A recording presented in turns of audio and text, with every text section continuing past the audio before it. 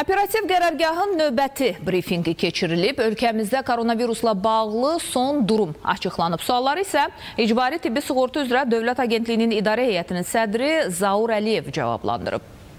Vətəndaşlar maskalardan istifadə etmir, bu da yoluxma sayını artırır. Bunu Nazirlər Kabinetinin yanında operativ qərargahın mətbuat konfransında İcbari Tibbi Sığorta üzrə Dövlət Agentliyinin İdarə Heyətinin sədri Zaur Əliyev bildirdi. Onun sözlərinə görə aprel ayının ortalarından yoluxma artmağa başlayıb. Son zamanlar şəhərdə gəzdikdə, istər ictimai nəqliyyatda da ə, görürük ki, vətəndaşlarımız ə, maskalardan istifadə eləmirlər və ümumiyyətlə bu sosial məsafənin qorumurlar və bunları biz təəssüflər olsun ki, izləyirik. Bütün bunlar da ki, yenə də bizim təəssüflər olsun ki, yoluxma sürətinin artmasına səbəb olur. Brifinqdə ölkə üzrə koronavirusa yoluxma faizi də açıqlandı. Zaur Əliyev bildirdi ki, ən çox yoluxma Bakıda olub, 45,3%. Bakıda isə koronavirusa yoluxma ən çox Yasamal və Sabunçu rayonlarında qeydə alınıb. Bakıda da rayonlar üzrə bölgü var, burada faizlərlə birlikdə və ən çox da burada Yasamal və Sabunçu ə,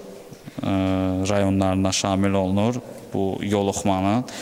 Yasamal da ki, ona görə idi ki, orada da yenə bir neçə ocaq müəyyənləşmişdi, hansı ki, bir nəfər ə, çoxlu sayda insanı yoluxdurmuşdu və bizim gördüyümüz əks epidemik tədbirlər nəticəsində artıq həmin vətəndaşlarımız da həm izolyasiya olunublar, xüsusi rejimli xəstəxanada, eyni zamanda artıq sağalıb da. Zaur Əliyev həmçinin Gəncədə yoluxmanın çoxalma səbəbinə də aydınlıq gətirdi. Gəncə zonasında müəyyən yoluxma sayı artmışdır və bunun da ki, bizim operativ şəkildə işçi qrupu ezam olundu Gəncə zonasına və orada müəyyənləşdirilmələr aparıldı ki, nəyə görə burada yoluxmalar aparılıb və təəssüflər olsun ki, orada karantin xüsusi karantin rejiminə bir o qədər riayət olunmadığına görə məhz həmin ə, bölgədə yoluxma sayı artmışdır. Zaur Əliyev həmçinin qeyd etdi ki, koronavirusa yoluxanların 54%-i qadın, 46%-i kişilərdir. Koronavirusdan ölənlərin 43%-ni isə 60-69 yaşlı şəxslər təşkil edir. Yaşı 65-dən yuxarı olan şəxslərlə bağlı danışan agentlik sədri bildirdi ki,